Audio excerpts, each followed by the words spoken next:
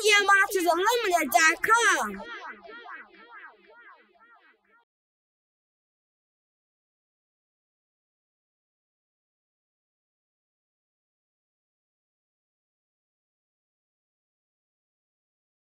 said we my my moment was when I seen that um because you know I played only as a freshman. I after that game we played after Boston for me my first game we on we went on to play Harvard the next game, which is another game that you know we scouted for, and I can remember like how you know his pace how he plays with so his pace like how much I learned so it was in the Harvard game probably because I, I, I got the film.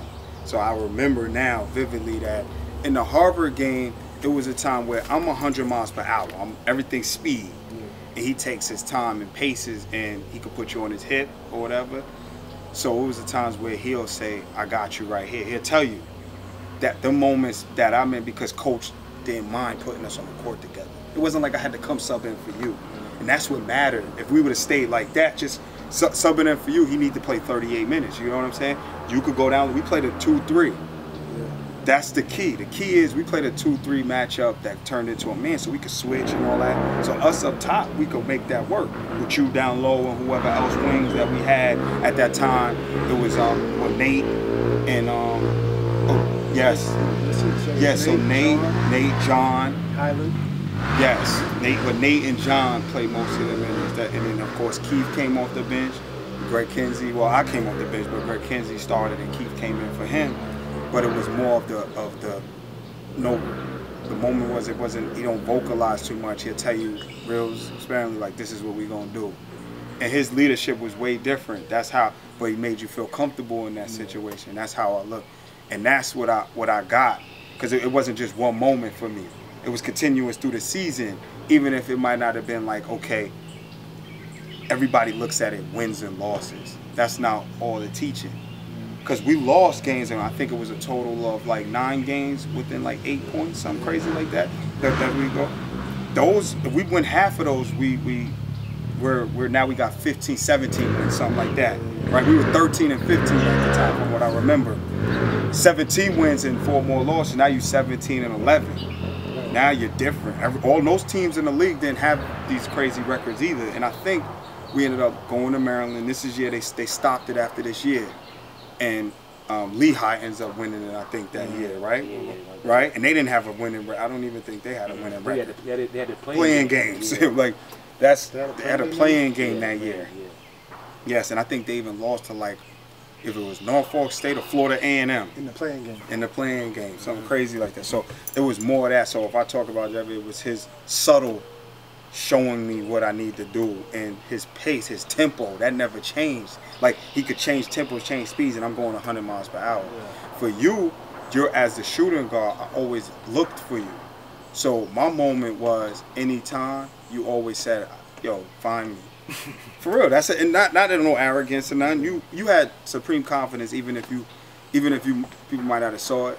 Your confidence was high. Like even if you probably didn't think, your confidence was like, I'm gonna make a bucket. And he even could say that because he said, I saw you come off the bench in a championship game. I watched the games, and have that. So my moment is is is bigger than like like just saying, okay, he can do it. My moment is seeing you light up, and it's not see, it's not the scoring. It was the way you did it. So if we talked about Puerto Rico, we spoke about it. I spoke about it earlier. I have to say because of Puerto Rico, it could have looked like an out of body experience for you, but I was watching the game, so I'm on the game and I'm dishing the ball to you, and you're pulling them from anywhere. They couldn't stop you.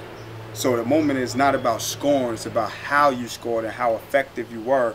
And I knew that at all times we need a buck ace and learn how to play with a point guard like Jave, so I could be a better point guard, and I needed to be able to utilize my wings. And we had the best wing in the league. You know what I'm saying? Guys that knew that.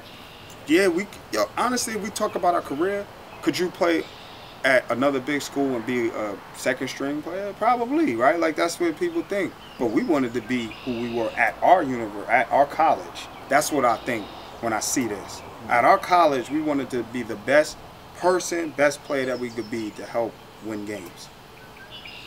You know what I'm saying? Uh, my memorable moment is we don't kind of discussed it with uh, Torey, but that he came off and he had 18, and he was like a he was like a madman, you know. And um, but you know, just watching you in practice and going against you in practice and like the determination and heart that you had was like something I admired, you know. And everybody is not blessed with that. I wasn't blessed with that, you know. And some things, you know, those are things that I, I wish I had. You know what I'm saying? Like you would just play all out, you know, mm-hmm. and like never let up. And we used to be playing against you in practice. And I remember one time I think I, I like did something and mm-hmm. cut your eye and you was bleeding. Mm-hmm. I, said, I said, oh, we about to fight. I, he, Corey ain't gonna let this go down. I said, he ain't gonna let this go down. I got stitches. I got stitches. I, and I, I, was like, oh, my bad, my bad. And you was like, nah, nah, nah, you good, you good, you good. And you came back yeah, to like practice. I'm like, oh, I thought, you know, like, it, thought your, I thought your date was gonna be over. Right. You know? I and that. I, you remember that? Yes. And I, was like, huh? That's why you did it? No, I, it was an accident, you right, know. But right, I was well, like, I was like, oh, but damn. I remember getting stitched up, and I came back. I came back, and I was like, damn, that's kind of crazy, you know. I thought, I thought he, I thought we was about to get it on, you know. so I was gearing up. You know?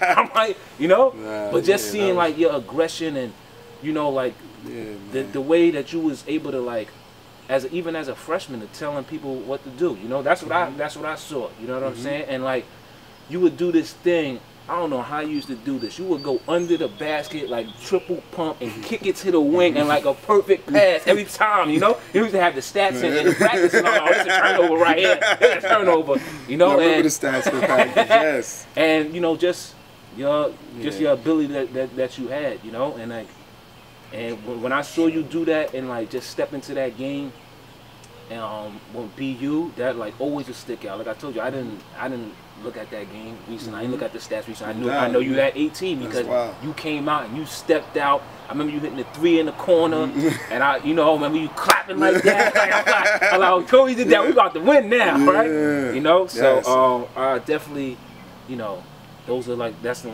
memorable moment for you, yeah. and then for uh, Kev, you know. Um, the playoffs that you had my junior year, that championship game that you know you you, you won us that game, and like going into my senior year, like you was the man, you know, like. Yeah. You was the man. Like when I brought, when I was looking for you, you know mm-hmm. what I'm mm-hmm. saying? You was a sophomore, and I already had um was willing to say he's a better scorer than me. Mm-hmm. You know what I'm saying? Mm-hmm. Like even though he's a sophomore and I'm a senior, and people might say, "Well, this is your team. You're a mm-hmm. senior." Mm-hmm. Like, nah, he he's the one that I'm gonna go to. You know what I'm saying? Yes. Like I'm passing him the ball. You know, and I remember one time we was playing um we playing in the garden, and we uh, we playing against Marist, and somebody had got a steal. I think I got a steal or something. And we were down like two. I threw you the ball up. You know, like yeah, do something with it. You know what I'm saying? Like because I, I, had trust, you yeah. know, in him that in his ability that right. he's the man on the team. Yeah. You know, and I think from there, you know, like I had the utmost confidence in you, so that's my like moment. You came out freshman year, and I knew you was like a hard worker and stuff, and it might have been my team like on paper and stuff, but like when it came to like who's, who would get the ball, I would, you know, no doubt, I would give it to him. I had the trust in him. Work for it. Yeah. Transitioned over. No doubt your question? My question? Oh, my um question I had. Oh, I, one thing you'd have done differently in your career, pro, high school, or college. Something that you think you'd have done differently. Me? So what, what would I have done differently? That's a great one. So um, it was one one thing I would say professionally. Um, I let think media and even family and people over here try to dictate where I could go. And it was Israel. I gotta say this. They told me that, oh, Israel is this, they're bombing over there. But Israel is one of the flyest places to go play ball for an American to be able to enjoy the weather, the food. So one place that I passed up on a job that I went later and I shouldn't have passed up on that job because they allow you to be who you are. You don't have to go crazy with these crazy practices that we had in Europe and that matters for longevity of your body and all of that. And when you look at the media and how they twist things and tell you things, that is one thing I can say. Me passing up professionally and a job in Israel for me was something I wish I never passed up on. Questions are kind of negative, son. It's not negative. So yeah. okay, yeah, So, yeah, like- that's too, that's too negative. I mean, no, it's all but that. I'm joking. But you know, that's different. You said- So something like you regret Or something, or something, or something you You would would have done change. differently. I would have done differently. Uh, I think, uh,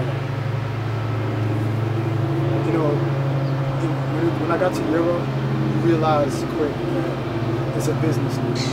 Right? Like, you know, we're college, you're playing with your best friends and people you establish relationships with, you know them.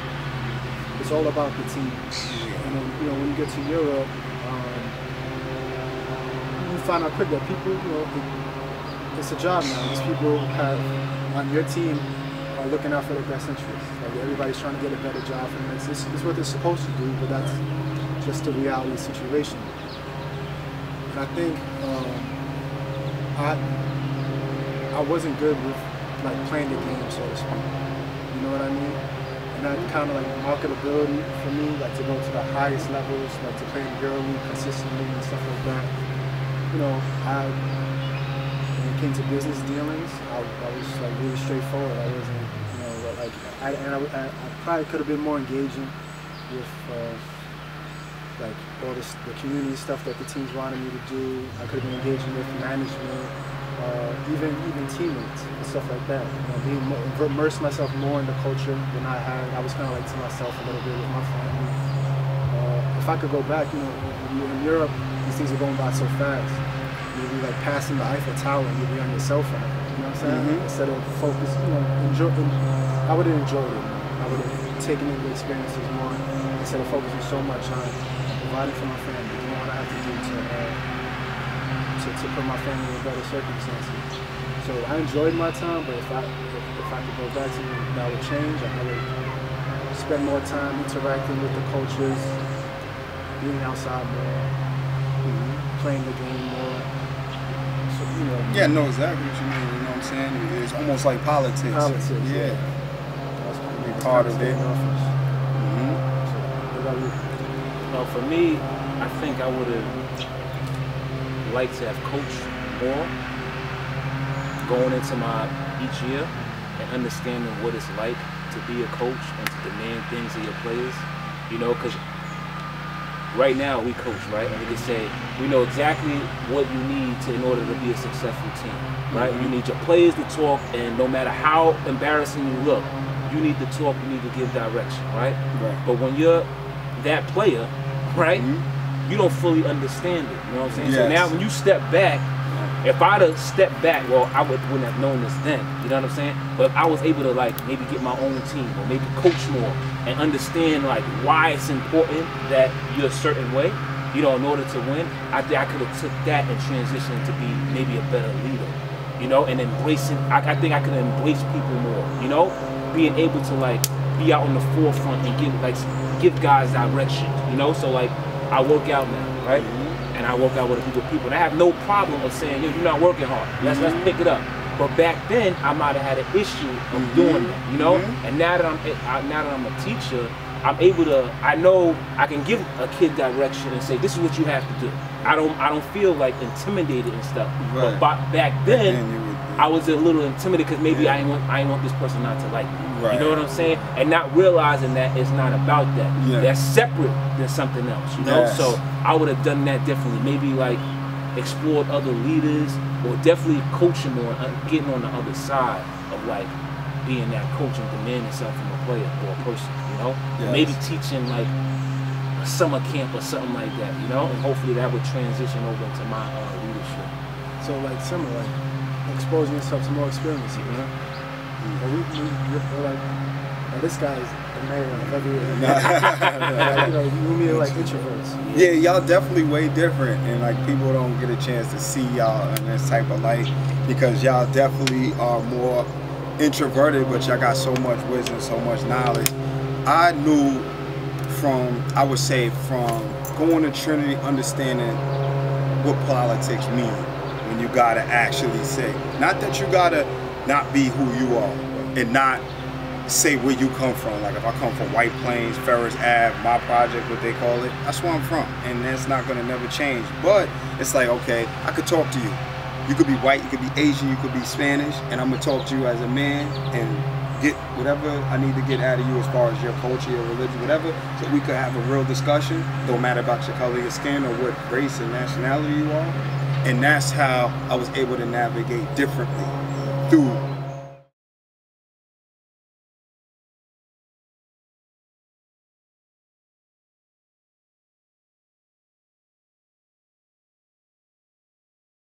MediaMarketsUnlimited.com.